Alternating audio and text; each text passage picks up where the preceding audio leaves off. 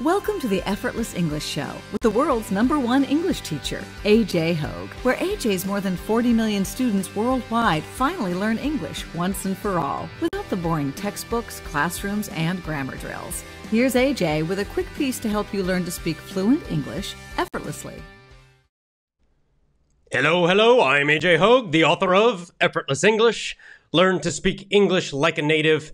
Join my VIP program at effortlessenglishclub.com. Effortlessenglishclub.com. Today's show Effortless English Business Club. Business topic today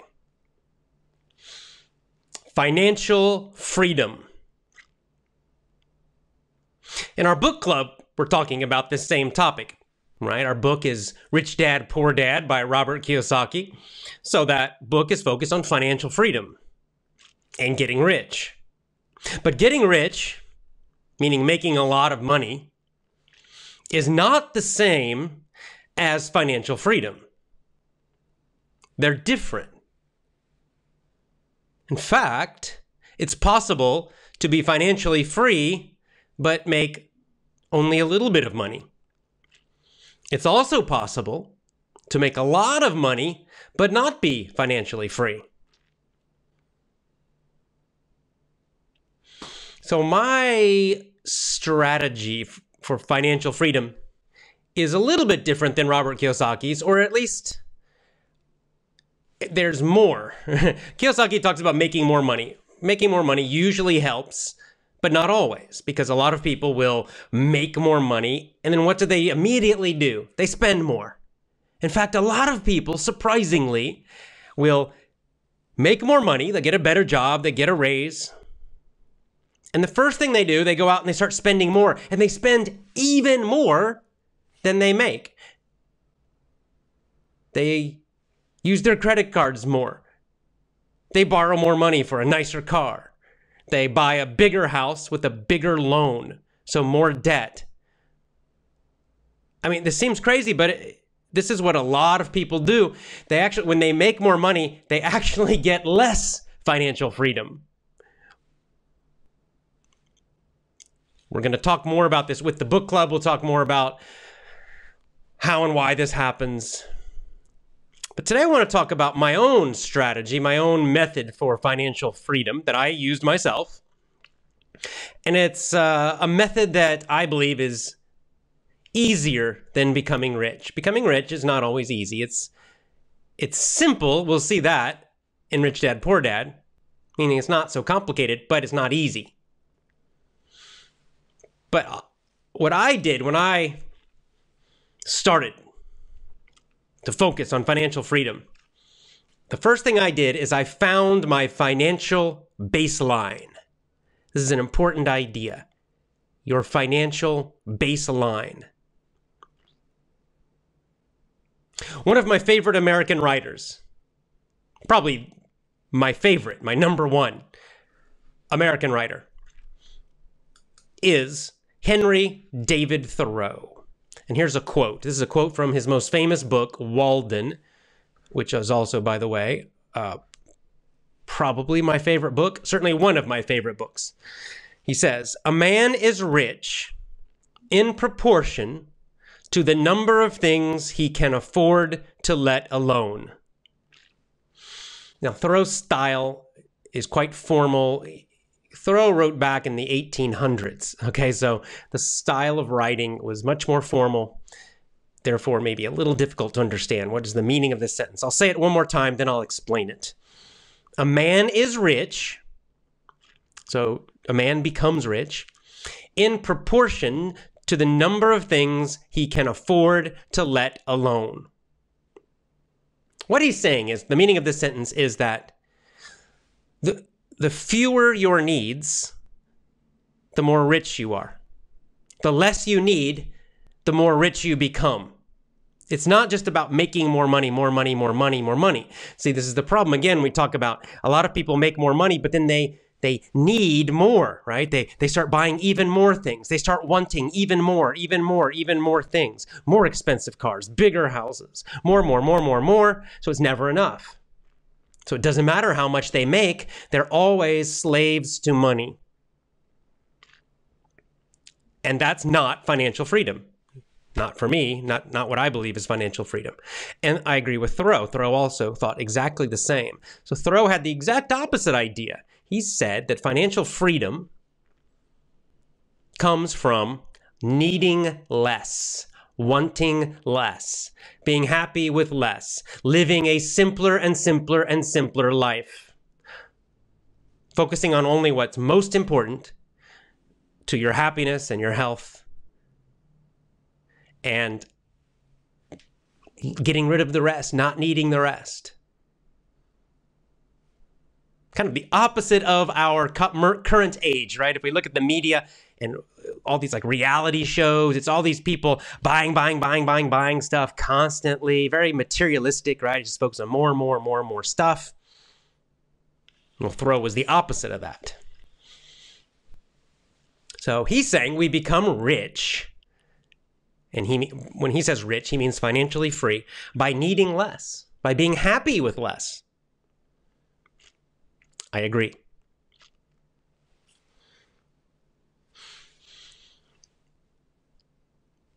One morning I woke up. It was a hot summer morning. And the air was very humid. and the air was not moving. So I was kind of really hot. And next to me, I could hear my dog panting. I had a dog at that time. And so I, I kind of woke up, and as I woke up, I lifted my head and I hit my head on the roof, the rooftop of my car. I was sleeping in my car, I was living in my car very small Japanese car at that time, with my dog. I did it in the summer. This was in the town of Athens, Georgia, my, my original hometown. I kind of woke up and it was hot, right? So I rolled down all the windows, started the car, got out. I had this bed. It was just a piece of wood. It went across. It, it's it stayed on the front of the car, which is called the dashboard, right, where the the speedometer and all that stuff is. So it rested on that, and then it went across and it rested on the passenger seat. Right? The passenger seat was kind of back, and then it went to the back part. You know, the back over and rested on the back seat. So I had this long piece of flat wood that was my bed. I had a camping pad on top of that and a little light blanket. And then my dog just was sleeping in the back seat.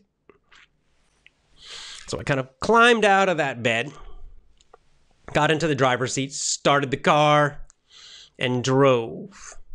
And on this morning, I drove to this park next to a river, next to a river in Athens.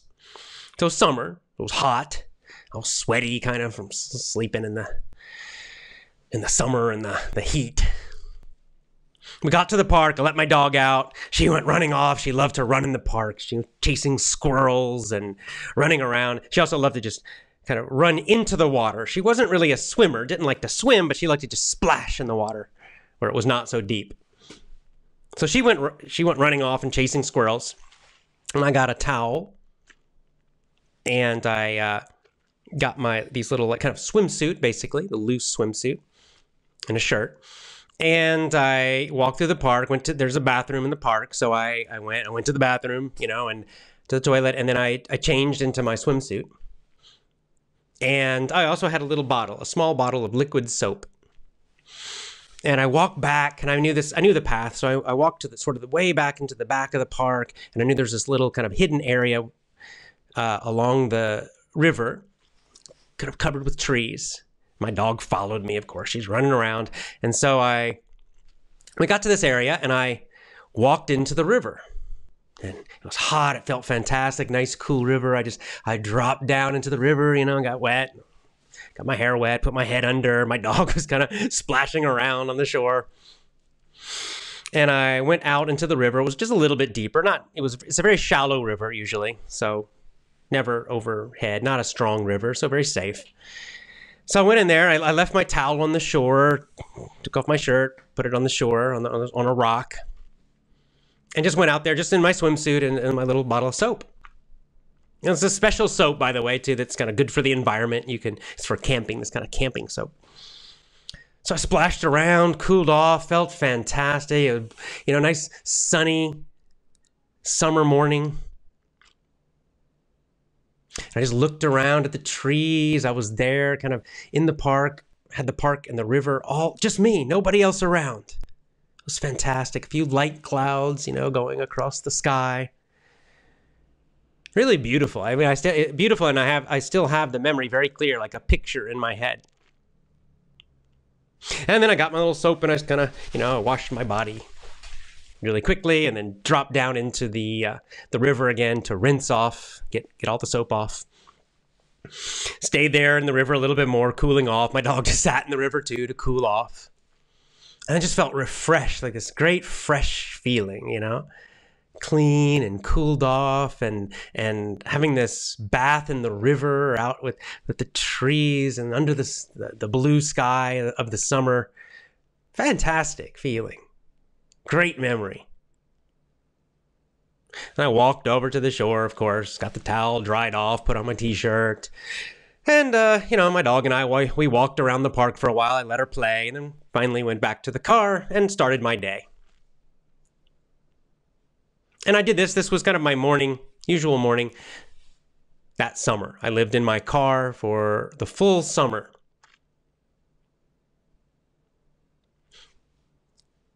And what was great about it is that I had no, of course, I know, had no rent. Why did I do it? Why was I doing that? A lot of people think I'm crazy when I tell this story, but um, my job before that, I was a social worker. This is the end of my social social work career. it was my last social work job, and I was really tired of it. I was sick of it. Uh, I was stressed at my last job. I did not like. Uh, I won't say I didn't like my boss. She was okay as a person, but we didn't agree. So we were arguing all the time. So it's kind of this stressful situation at my job. I was sick of working a full time job. I just wanted to be free. I was sick of being an employee in general. This is really the start of me realizing that I needed financial freedom and that eventually I needed to start my own business. But I wasn't ready to start my own business at that time, just wasn't ready. So I, I had to think like, well, how, how can I get more freedom? I, I was planning to go teach in Japan. I had a job for the fall, but I had this summer coming up, and I just thought, ah, I just, I just want to relax and enjoy my summer. I want some freedom. I've been working this job that I hate for so long. I'm stressed out. I'm tired of it. But if I if I keep my apartment, if I keep all my expenses, then then I'm gonna have to work. I'm gonna have to work through the whole summer until I go to Japan. And I, I just kept thinking about it, and I was reading Thoreau's book, Walden, and I was inspired by him. And I thought, well, I can be like Thoreau. See, Thoreau, what Thoreau did, his book is about. Thoreau, he went, he had the same kind of feeling. And uh, one day he went into the woods and he just he built his own little tiny house and he lived super simply. He grew some beans and a little bit of food, and his he cut his expenses to almost nothing. And then he wrote about it and wrote about the happiness of living a simple life and the power of having a very simple life and being financially free. And I thought, well, I don't want to go live in the woods alone, but maybe I could kind of use this same idea what what would be a modern idea? How could I do this in a modern way in in my hometown? And I thought, well, I could I could live in my car. Right? I would still have a place to sleep that would be, you know, somewhat safe. No one could really bother me. And my dog I had my dog, so my dog could stay with me. And if I did that, then I already had a car. So I, I could cut my rent. I would could stop paying rent. If I cut my rent, I had no rent and no electricity costs, then I realized, well, I could I could just quit my job. I'd have my whole summer free. And that's what I did. And I did live that whole summer. And that summer, it's one of my best memories that summer. It was fantastic.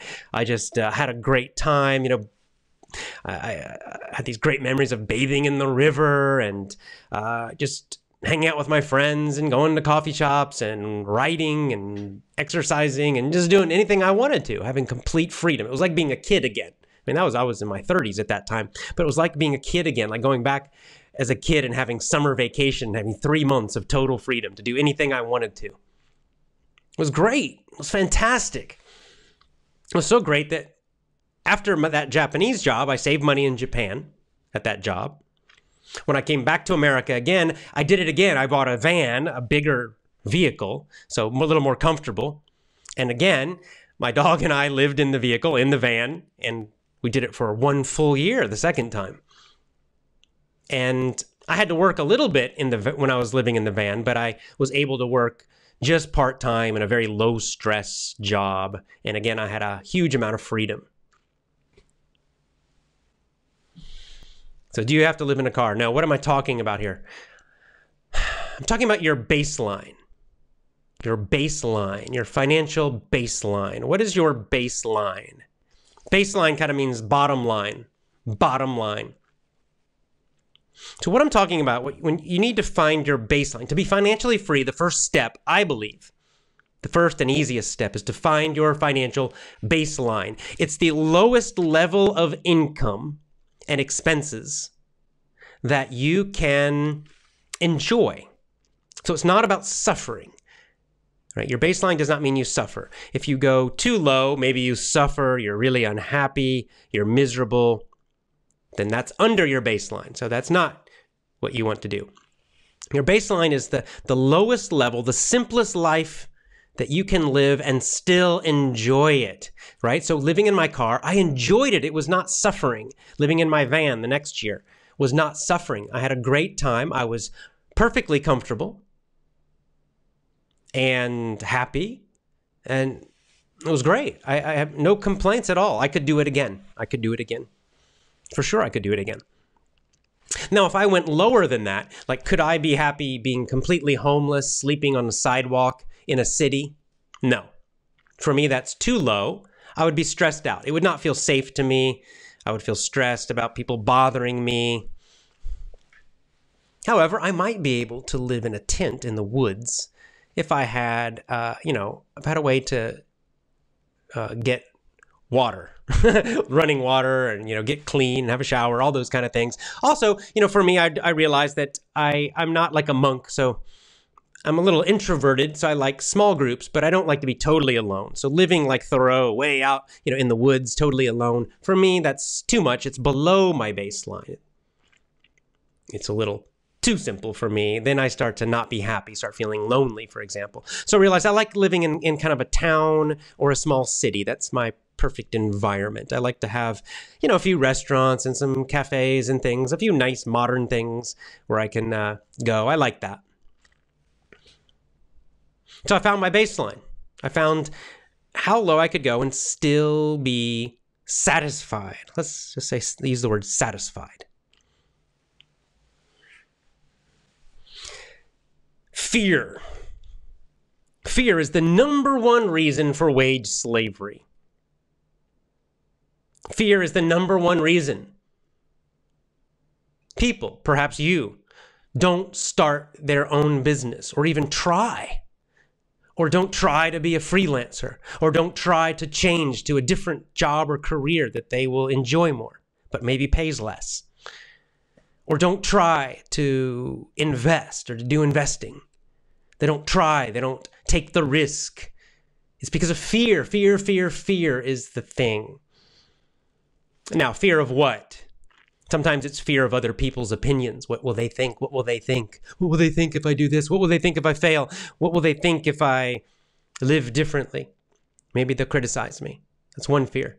Another fear is just of suffering. Of, oh, maybe I'll be really unhappy if I have to live in a smaller place, if I have less money, if I fail and I make less money and lose my job or the business fails, then maybe I'll be super unhappy and miserable. It's another fear. And the problem is, most people never face the fear. They're just imagining these fears, but they really don't know. They don't really know. It's just imagination. The worst thing is fear of the unknown. It's not knowing. It's never testing your fear.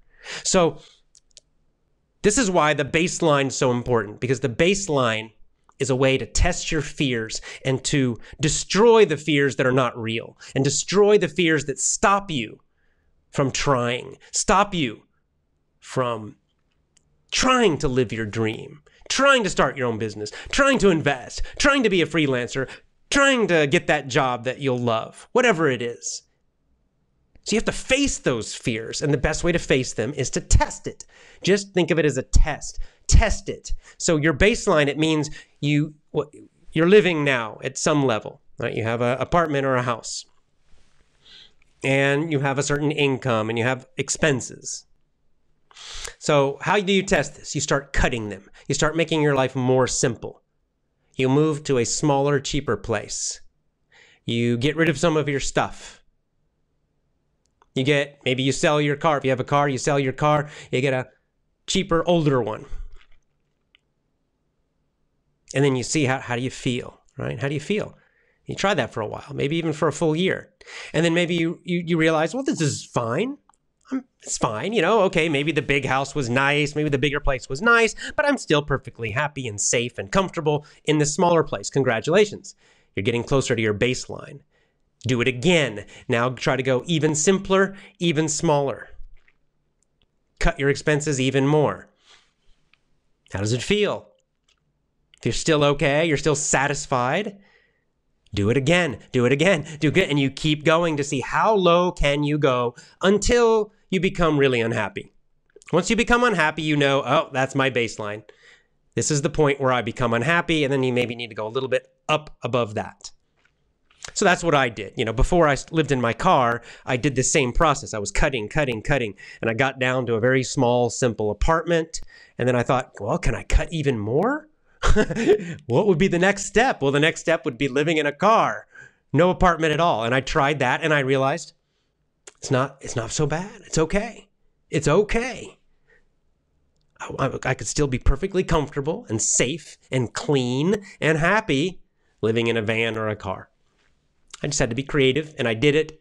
And I did it. That's the key thing. I tested it. It wasn't just an idea, not just an idea, right? Because maybe you have this idea listening to me. Oh, I could never do that. I don't know. Oh, oh, scary. Oh, it would be terrible. How do you know? You think that maybe. I thought that too. I worried about that. I was afraid when I did it. But then once I started it, I realized, oh, actually, not so bad. Not so bad. Actually, this is fine. A little uncomfortable in the summer. It was, it was a bit hot some nights, sure. Got some mosquitoes sometimes. but uh, but for me, that was fine. Now, I do realize for most people, maybe car is too much. Living in a car maybe is too low for you. It's okay. Everybody's different. This is the point. Everyone's baseline is different. So you, yours might be lower you might be able to live even more simply and cheaply than me and still be quite happy and satisfied. Or maybe yours is higher. Maybe a one bedroom or one room apartment is your baseline. Or maybe it's even higher still. Maybe, you know, maybe you have kids now and that's too small for you and you know maybe you need a kind of a simple a simple house or a two or three bedroom apartment there's not a right answer, there's not a wrong answer. The point is to know yourself and to, to face your fears and to go as simple as possible. Make your life as simple as possible. Find it yourself. Then you know. Then you know. And then you can get rid of all the fears because you can know, okay, I can live this simply. If I need to, I can go this low. Now, this process of finding your baseline, it's temporary, okay? This, it's not something you have to do forever. You can if you want to, but you know, I don't live in my car now. I don't live in a car, but I did it. I tested it for well, in total about a year and a half, right? In two different times. I tested it long enough so I knew I can do that. It's fine. I can be satisfied. I have no fears about that. I could do it tomorrow. Like I said, if I if I had to or wanted to, I could still do it. I don't know if my wife would agree, but but I could personally, I could do it still. And guess what that does? It eliminates so many fears. I know I can live simply. I know I don't need to live in a large house. The other thing it did is now, because I lived happily in a car and a van, that if I just live a little higher than that, it feels super comfortable. So now I live we live in a very kind of very inexpensive small apartment and it feels great to me. It feels like a little bit of luxury. Because it's it's quite a bit above living in a car. okay? So that's the other thing. By by testing your baseline and going down to your baseline for a while, you will sort of retrain, reprogram your brain to need less. So then if you do get a little more, and you go back to a little more. You don't need to go up to super luxury. You won't always need more, and more, and more, more, more, more, more, and be forever unhappy. You can just go up a little bit, and then you'll you'll be very grateful, very comfortable, very happy and satisfied with that. This is the first step. I believe this is the first and most important step for most people to be financially free. Most people focus on making more money, more money, more money, more money, getting rich that's what Robert Kiyosaki talks about getting rich, getting rich. But it's only, I don't even know if it's half. I think it's even less than half of the formula. It does help. Certainly, it helps to make more money, but it's not the only thing. And it's not even necessary. You might be making plenty of money right now, and all you need, really need to do is cut your expenses and make your life much simpler, and you would have a lot of extra money and have a lot more financial freedom. I mean, this set me free. And because I found my baseline, because I got rid of those fears, later, a few years later, when I was ready to start my own business, I, of course, I had some worries, but I was not super afraid. And also, my business had a much better chance to succeed because at that time we were living in a super cheap one room apartment with a shared bathroom. I mean, we were able to live very, very, very, very simply. So I could focus on the business. I didn't need to make lots of money from the business in the beginning. I didn't have a lot of stress about the business because our expenses were so low that I knew, oh, well, I can start the business. If it just makes a little money, I'm going to be super happy. So if it just makes a little money, I can quit my job and be free completely because our expenses are so low. So this gives you a great advantage if you do, and when you do, start your own business or change to a different job or try to start investing, whatever it is you do. When you find your baseline, if you can stay at that baseline or stay close to it, it will, it will make you much more courageous, much stronger, much more fearless, fearless financially. And that will give you a better chance to succeed for sure. Now, I mentioned the second fear that people often have is of what other people think. What will they say? Will they criticize you? Right? You worry about other people's opinions. Well, guess what? Going to your baseline also helps this. Living in my car helped me to face the criticisms and the opinions of other people better than anything else because most people in America thought I was crazy. So, family thought I was crazy.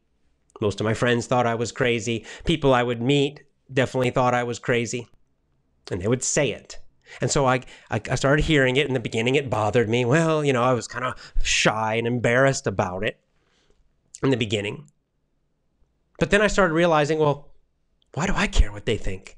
I'm, I'm happy. I'm, I'm, I feel great. This is wonderful. So uh, as I got happier and happier and realized this is fantastic, I started to be more confident about it. And I would tell people about it and I would tell stories and let them know how great it was. And then I noticed a change. Instead of criticizing me, it was almost like they were a little jealous. Yeah, they would still criticize some, but I could also tell they were jealous of my freedom because a lot of them would be working jobs they hated and just working, working, working, working. And I knew they were afraid to do what I was doing. They were afraid to do it. And that gave me great confidence to Forget about other people's opinions. Forget about criticism. Forget about the haters, the doubters. To be more confident in my decisions and, my life. And that also helped me when I started my own business. Again, yes, I was a little nervous about failing, but I didn't care so much what other people thought, whether they thought it was a good idea or a bad idea. So what? Doesn't matter. If I if I had failed, I and, and actually I did fail. My first time trying a business failed. So what? I learned, I moved forward, I got some good skills from that first failure that helped me when I started Effortless English. This baseline is powerful. Finding your baseline will set you free. And most of all, what it does is it sets you free from fear, free from fear. And that is the first and most important step for achieving financial freedom, however, you want to achieve the financial freedom. You know, Bob Dylan has that. There's that classic line from the Bob Dylan song If you ain't got nothing, you got nothing to lose right? If you ain't got nothing, if you don't have anything, you have nothing to lose. And so what what it was Dylan saying in that song? He's saying basically what Thoreau said. He's saying the less you need if you have if you if your needs are super low, if you don't have anything, there's nothing to fear. You can't lose anymore. There's nothing more to lose. So therefore you become stronger and more fearless. He's right. Absolutely that's true. One of my favorite movies is uh, Fight Club. I love that movie, Fight Club. And then the, the main character, Tyler Durden, says something similar. He says it several times in the movie. He says, Let that which does not matter truly slide. That's a strange way to say this. So let me explain that sentence. That which does not matter. That means whatever is not important. Let anything that's not important in your life slide. Slide means to kind of go down and to go go down and away. What it means is let go. Let go of what's not important. Anything that's not important to you, that's not really deeply meaningful, let it go. Just let it go. Doesn't matter. Other people's criticism, let it go. Doesn't matter. Lots of, you know, big expensive cars and trying to look cool and super expensive, uh, I don't know, clothes and jewelry and always trying to impress everybody and blah, all that stuff. Let it go. It's not important. It's not important for your for happiness and purpose and meaning and your mission and all of that. Let it go. Just let it go. Let everything go that doesn't matter and focus only on the most important things. Find out. Maybe you don't know yet. And this is again why finding your baseline is so important. It helps you identify what is most important to you? What really makes you happy and what doesn't? What do you really need in your life? What's not so important? What don't you need? And there might be some things that you like, but you don't really need them. Again, I like having an apartment, but I, I know I don't need it. And that gives me more confidence, makes me more fearless financially. For sure it does. And in general in life, it makes me more fearless about making decisions, taking risks, doing what I want to do, living free or freely. Now, in future shows, future Effortless English Business Club shows, EE Business Clubs shows, I'll talk more about how.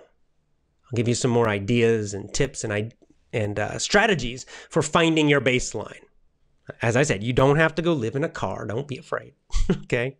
But I just recommend that you start cutting your expenses, trying to live more simply, and start moving towards your baseline. And I'll help you in some future shows to really get down and find that baseline. Believe me, I believe this is the most important step for being financially free.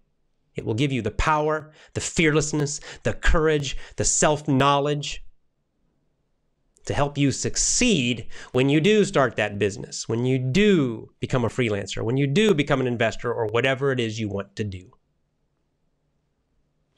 All right. Join my VIP program. Try it for $1. Join my VIP program at effortlessenglishclub.com. Effortlessenglishclub.com. I love you. I'll see you next time. Mwah! Bye for now.